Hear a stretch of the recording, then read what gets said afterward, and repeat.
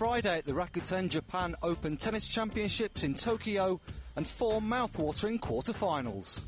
Four of the world's top ten players were in action and the fans were in mood for a great day's play. Defending champion Rafael Nadal was given a tough test against Colombian Santiago Giraldo.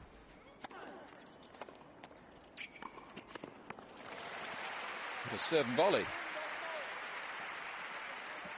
He likes this tactic. 2-0 Nadal. In their three previous meetings, Nadal had won all three matches. But in Tokyo, he was taken to a tiebreak in the opening set after some fine tennis from Giraldo. Another series of fabulous forehands from Giraldo. Nadal, though, came good in the big points. There is the opening set. Look what it means to Nadal. That's how hard he's had to fight. In the second set, Nadal was much more comfortable and was hitting winners on a regular basis.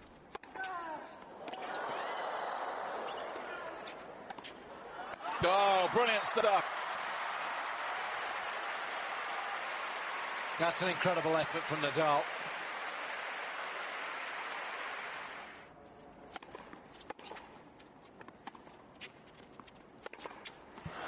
Rafael Nadal, the defending champion, is through. He's into the semi-finals, but what a fight he had on his hands. A sensational performance from Santiago Giraldo.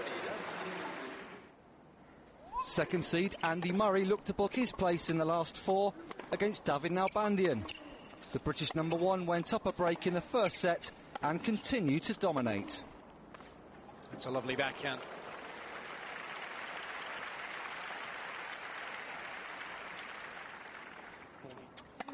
The pair exchanged breaks twice in the second set, but it was Murray who seemed in control throughout.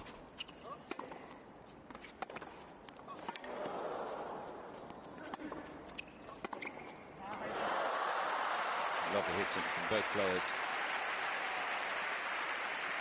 Sweet backhand. Andy Murray.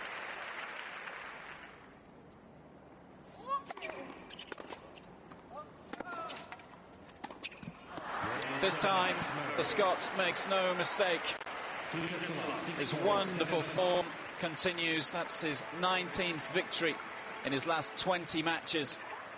And he just about proved too good for David Nalbandian. Lost concentration a couple of times towards the end of the second set.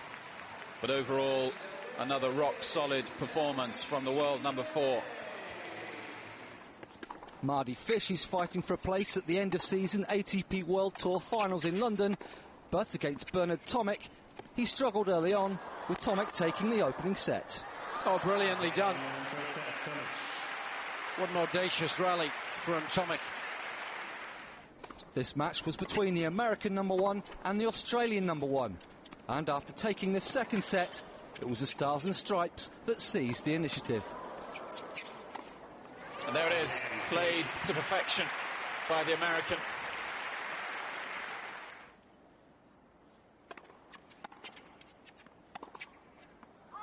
It's just long. Mardy Fish marches into the semi-finals here in Tokyo.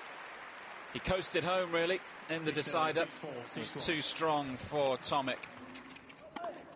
Third seed in 2007 Tokyo champion David Ferrer also sealed his place in the semi-finals with a convincing display against Radek Stepanek. Oh, these guys are producing some good tennis right now. Lovely contrast in styles. Good to see Stepanek coming forward whenever he has the chance.